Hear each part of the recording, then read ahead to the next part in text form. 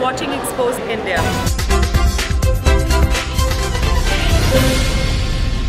तो इस वक्त कांग्रेस के राष्ट्रीय प्रवक्ता अभिषेक मनु सिंघवी जी हमारे साथ मौजूद हैं यहाँ पर फोरम में आए थे इंटेलेक्चुअल काफ़ी कुछ बातें इन्होंने बताई हालाँकि कांग्रेस को लेकर जो भी चीज़ें हैं उन्होंने बहुत सारी पॉजिटिव बातें भी कही और भविष्य में अच्छे संकेत भी दिए कि आने वाले वक्त में और मजबूती के साथ कांग्रेस उभरेगी। अभिषेक जी बहुत बहुत स्वागत करते हैं आपका एक्सपोज इंडिया में।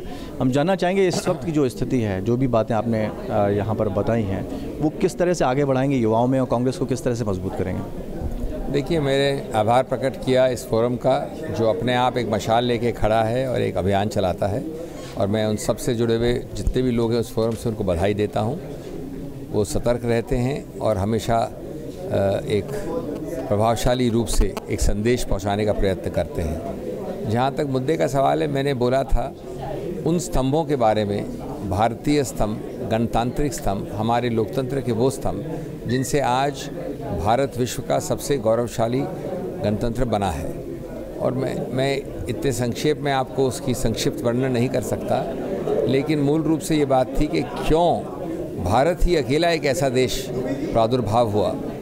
पूरे एशिया, दक्षिण अमेरिका, अफ्रीका, कोई भी देश जो कोलोनियलिज्म से बाहर निकला हो, आज गौरवशाली, स्वतंत्र, गणतंत्र नहीं है।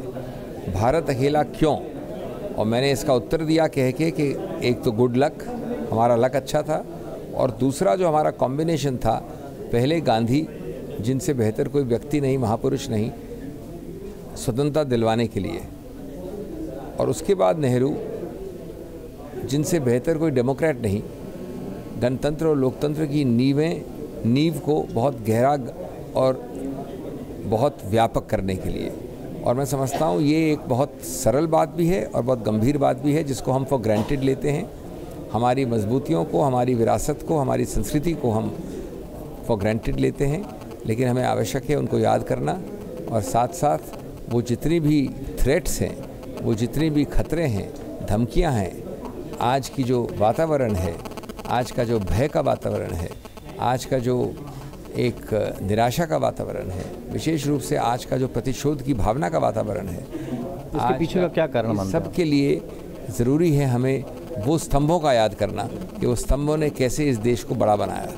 इसके पीछे क्या कारण मानते हैं? जो भय का तो बड़ा ज़ाहिर है कि एक नया प्रादुर्भाव हुआ एक नई सोच का 2014 के बाद और उस सोच के अंतर्गत भारत के इन स्तंभ जिन संस्कारों पर खड़े हैं उनका ये ठीक विपरीत सोच है। गुजरात को लेकर क्या परिणाम है। गुजरात को लेकर क्या कहना चाहेंगे? किस तरह के बात करने का फ़ायदा नहीं रिज़ल्ट आ रहा है। बहुत बहुत शुक्रिया बात करने के लिए।